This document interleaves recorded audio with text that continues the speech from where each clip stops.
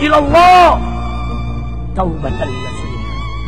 Tidak mungkin saudara Allah mengirimkan bencana bertubi-tubi kepada satu negeri yang penduduk mayoritasnya muslim, yang banyak habaib, banyak ulama, banyak kiai, banyak majelis-majelis taklim, banyak majelis-majelis pikir.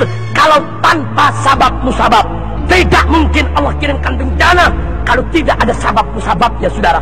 Pasti ada sesuatu yang tidak beres di negeri ini sehingga bencana datang bertubi-tubi.